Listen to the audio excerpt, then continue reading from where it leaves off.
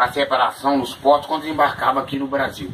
Porque quando o africano veio da África para o Brasil, eles vieram de navios negreiros e vieram na maldade nos porões dos navios, né? Aí veio tribos misturadas aqui. Não veio só o minerador, veio o agricultor, veio o arquiteto, veio da agricultura, da metalurgia, da fundição. Aí quando o africano desembarcou primeiro no Brasil, onde eles pisaram primeiro foi na Bahia. Da Bahia, Recife, de Recife, Rio de Janeiro, Espírito Santo. Aí pelo instrumento de sopro aqui, ó, eles sabiam o sentido do Brasil que ele ia mandar. Exemplo, sopro 1 é da mineração, é de Paraty do Rio de Janeiro até chegar aqui em Ouro Preto. É o caminho da estrada real. Aí sopro 2 é da agricultura. Ele vai mandar em geral do Brasil, na agricultura no Brasil. Sopro 3 da arquitetura em geral também.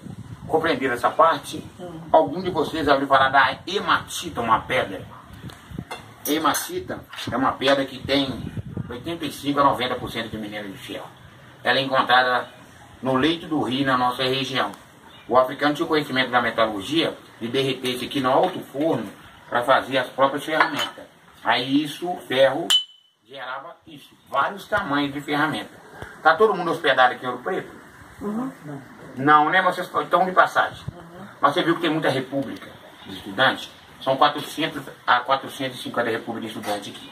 Aí a primeira engenharia de Minas do Brasil, uma das menores, é daqui. Aí o símbolo da engenharia de Minas, que é o brasão, são dois martelos cruzados. Aí lá está escrito comente e malho. Em português é com a mente e o martelo. Mesmo negro apanhando, chicoteado e sofrendo, e deixou só legado de conhecimento. Mas igual eu expliquei, a Europa foi escrito para a Europa, só coloca o negro como subplano, né? E na época, Ouro Preto não chamava Ouro Preto, Ouro Preto chamava Vila Rica.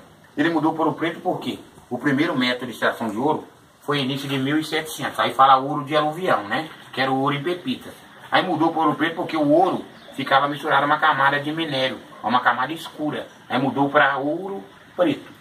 Mas aí, geralmente, o castigo de Portugal veio a cavalo. Porque ele escravizou, escravizou a África no sentido de que ele perdeu o ouro todo na época. Ó, tá dando para todo mundo ver daí? Ó, nesse bando aqui, tá computado 100 anos, tá? Mas a extração legalmente aqui na nossa região, legalmente assim, né, entre aspas, foi até 1820. Mas vai chegar um outro banner futuro aqui, a extração, a, a porcentagem vai aumentar um pouco mais. Mas em 100 anos, ó, de 1700 a 1800, foi retirado 650 toneladas em geral. Quando fala Vila Rica, Vila Rica não é só Ouro Preto, não. Aí tem um lugar chamado Lavras Nova, Casa Branca, que é Vila Rica em geral, né? Aí Portugal, em 650 toneladas de ouro, só 3% do ouro que foi para a coroa portuguesa. O restante foi para pagar dívida para a Inglaterra, né? O legado de pães e vinhos. Aí Portugal escravizou, escravizou a África lá na Europa, do lado da Grécia, em questão do primeiro mundo é mais pobre, do lado da Grécia.